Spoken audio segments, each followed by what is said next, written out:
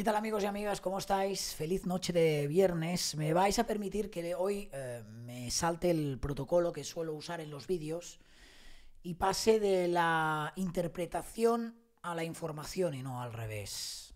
Porque la jornada de hoy en cuanto a la realeza británica nos deja, para mí, una, una interpretación clara, un titular claro, que nosotros que no queremos que se repita un nuevo caso Kate Middleton un nuevo Kate Gate, un nuevo episodio de especulaciones agresivas, fuertes, en torno al estado de salud de la princesa de Gales con el rey Carlos III. Iniciábamos, iniciábamos el día con unas informaciones mm, por parte de algunos medios que han sido reproducidos también por otros alarmantes sobre el estado de salud del rey Carlos III nosotros hemos dado parte de ello y ya os comentábamos en el vídeo que podéis recuperar y que os dejo al final de este, que todo formaba parte de, del amarillismo y del sensacionalismo porque era la no noticia, una supuesta fuente cercana de Carlos III eh, que se autocalifica como viejo familiar o viejo conocido, más que familiar, viejo conocido de Carlos, de Carlos III aseguraba para la cadena Sky News en Australia que el monarca no estaba bien, que estaba mal, que estaba cada vez más deteriorado y algunos medios de comunicación hacían referencia a esos documentos de la operación Menai Bridge, que son los informes eh, funerarios que se suelen realizar con, con la, en este caso, la categoría 1 de los miembros de la familia real eh, británica y que básicamente se recoge en ese informe cómo va a ser el, funeral del, rey. De hecho, se empezó a trabajar en, ello el día después de la muerte de la reina Isabel II. Eh, Suelen haber actualizaciones cada, cada año, se producen todo tipo de, actualizaciones en este sentido y esto no es noticia. Como sabéis, algunos medios han querido unir una cosa con la otra y a primera hora muchos titulares señalaban la posibilidad de que ya se estuviera em, estudiando o ya se tuviera incluso preparado el funeral de Carlos III a consecuencia de su deterioro de salud. Esta vez solo han tardado unas horas desde el Palacio de Buckingham y yo creo que con el ejemplo de Kate Middleton todavía muy, muy, muy reciente, ahora haré una acotación porque no es lo mismo Kensington que Buckingham Palace. Y es verdad que a nivel de comunicación Buckingham Palace ha llevado toda la enfermedad del rey Carlos III de forma bastante transparente pero eh, sí que eh, me llama poderosamente la atención que solo unas horas después de que empiezan a salir los primeros rumores, de que empezaran a salir los primeros rumores en la prensa estadounidense, rumores de los que se han hecho eco, como no la prensa española, con titulares alarmistas de todo tipo, la jornada a las 7 de la tarde, hora española, a las 6 de la tarde, hora del Reino Unido, terminará con un comunicado oficial del rey Carlos III que termina de forma fulminante con estos rumores, porque básicamente lo que se anuncia en este comunicado es su regreso a la vida, a la vida pública. Además, en junio ejercerá de anfitrión con los emperadores de, de Japón y que los médicos están lo suficientemente satisfechos con el progreso realizado. Es decir, que en cuestión de horas hemos pasado de titulares afirmando que el rey Carlos III estaba muy mal de salud y que incluso estaba programado ya su funeral, tergiversando unos contextos de actualidad que os he contado brevemente en este vídeo y que vais a encontrar, si queréis, con muchos más detalles en el vídeo que hemos hecho este mediodía, a un comunicado con esta fotografía además que veis aquí en, pantalla, que en este caso nos ofrece la, revista Hola, ahora os, daré los detalles de esta fotografía, donde precisamente se asegura todo lo contrario, que los médicos están muy satisfechos con el progreso realizado hasta tal punto, hasta tal punto que se anuncian los primeros actos eh, públicos externos del, monarca. El primero de ellos será además este, este martes y en junio esa visita eh, importante donde ejercerá de anfitrión con los emperadores de, de, Japón. Os voy a leer exactamente qué es lo que dice este, este comunicado, que es bastante corto, pero lo suficientemente representativo y contundente. Su Majestad el Rey se reincorpora en breve a sus funciones públicas tras un periodo de tratamiento y recuperación tras su diagnóstico de cáncer. Esto fue, no lo dice el comunicado, os lo contextualizo yo el pasado 5 de febrero, cuando supimos del cáncer del rey Carlos III después de que se sometiera en esa London Clinic a una operación por agrandamiento benigno de, próstata. Días después, tras unos resultados que le tuvieron que hacer fruto de unas pruebas que le tuvieron que hacer fruto de esa operación, eh, se determinó que el monarca padecía, padecía cáncer, aunque no sabemos qué tipo de cáncer es. Reza el comunicado y continúa, dice, para, para conmemorar este hito, el rey y la reina realizarán una visita conjunta a un centro de tratamiento del cáncer el próximo martes, es decir, este martes, como os decía, donde se reunirán con especialistas médicos y pacientes.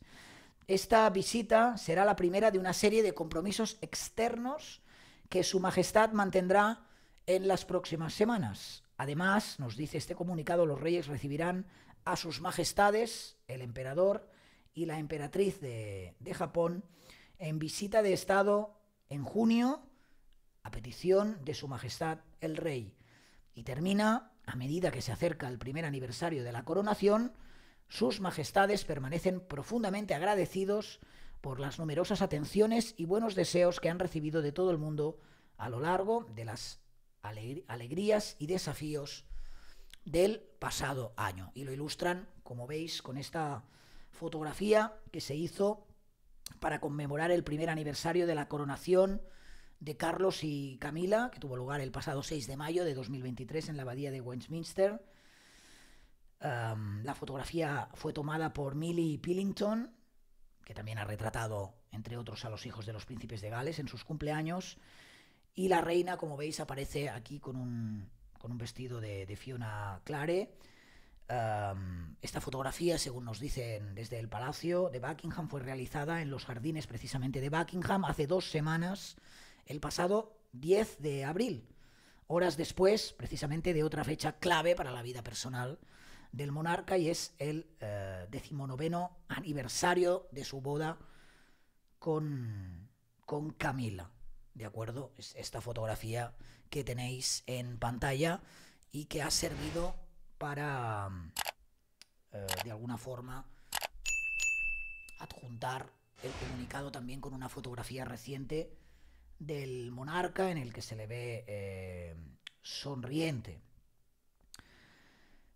según fuentes de Palacio y recoge también en este caso la revista Hola, mientras se prepara para esta nueva etapa que empezará en breve, continuará Carlos III con su tratamiento, como se ha hecho hasta ahora. El programa de tratamiento continuará, pero los médicos están lo suficientemente satisfechos, aseguran, con el progreso realizado hasta ahora, que el rey puede reanudar, están tan satisfechos con ese progreso que le han dado permiso o le han dado luz verde para que el rey reanude ahora ya una serie de tareas de cara, de cara al público.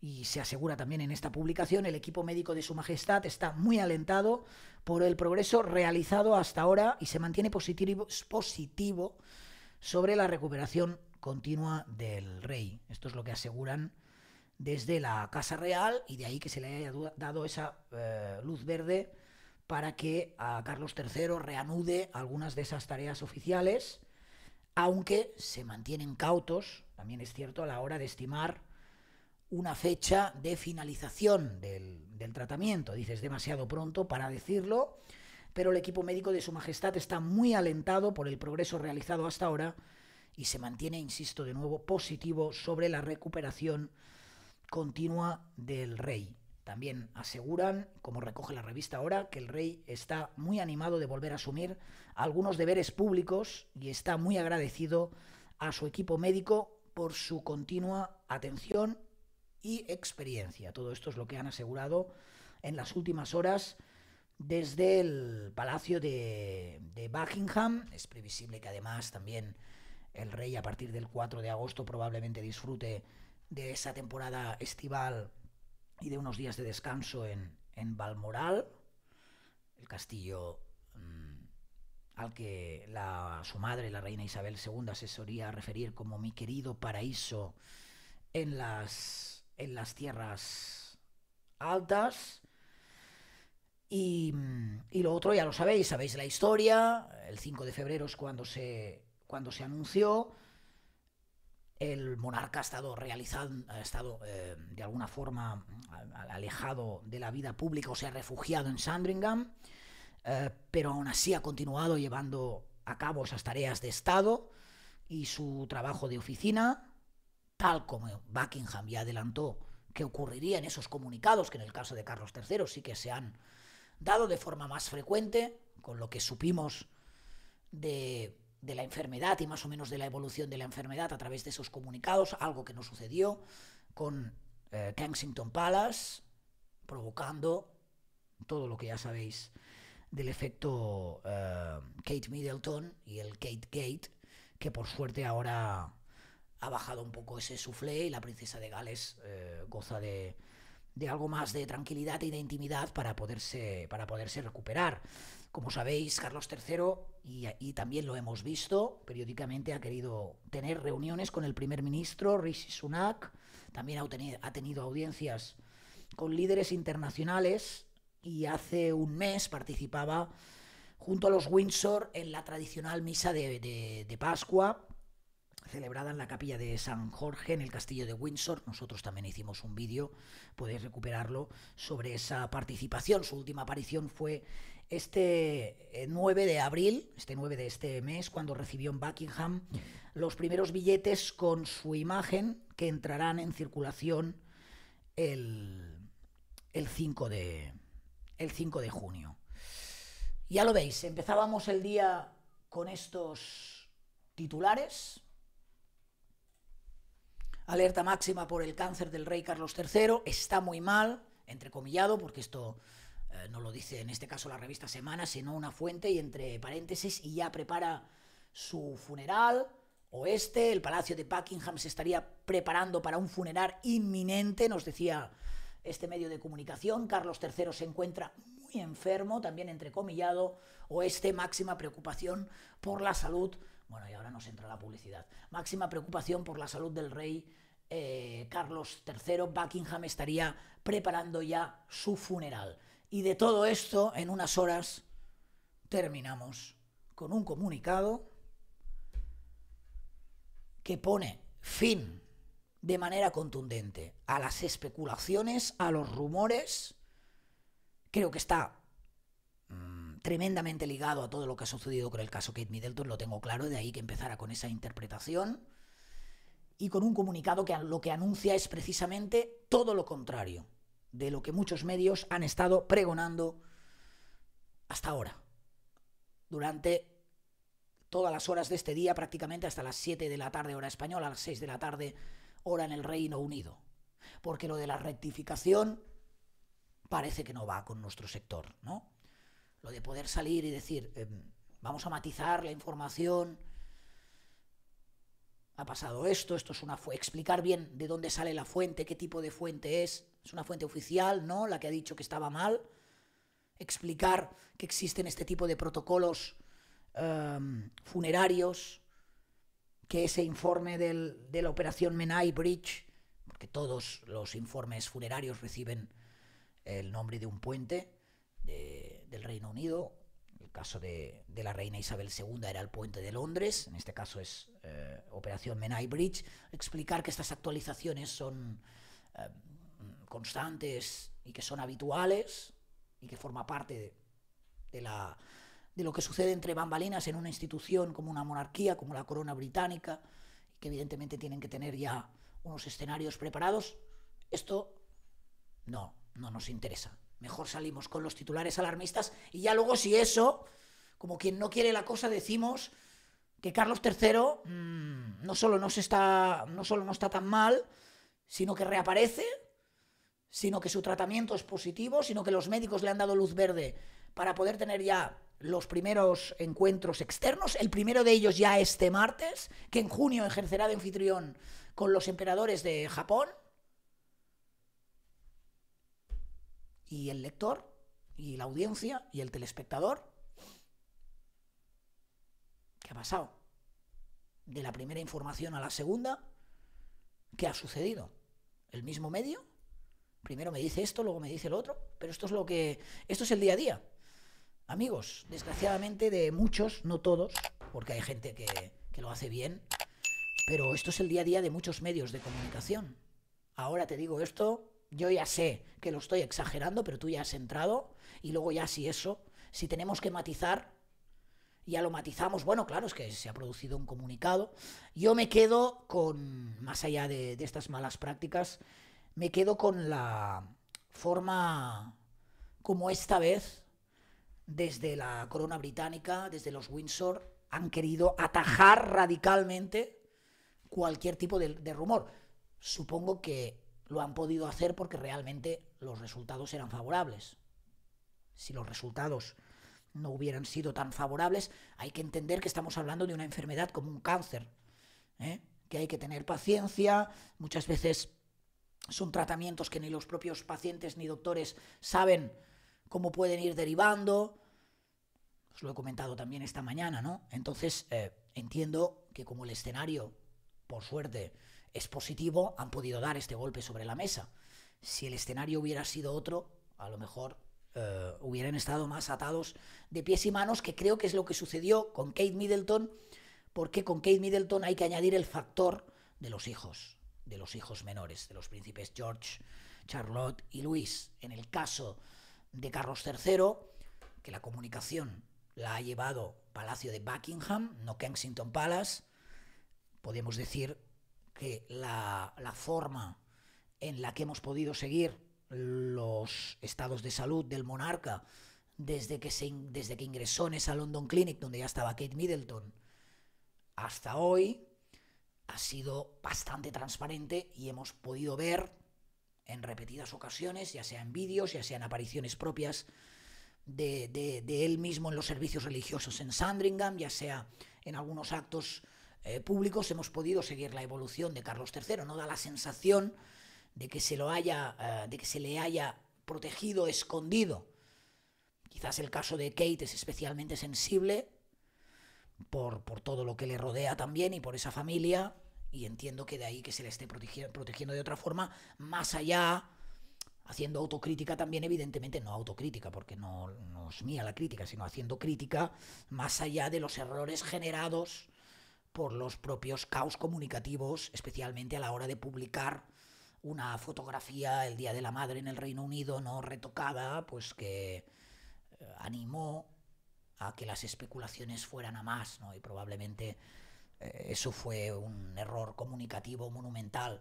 Pero más allá de esto, entiendo que la situación de la princesa de Gales es distinta. Con el rey Carlos III se han podido dar otros tiempos y fijaros que eso sí, con todo lo que ha sucedido con Kate Middleton en la retina, desde Windsor han dicho, desde Buckingham han dicho, no, otra vez no.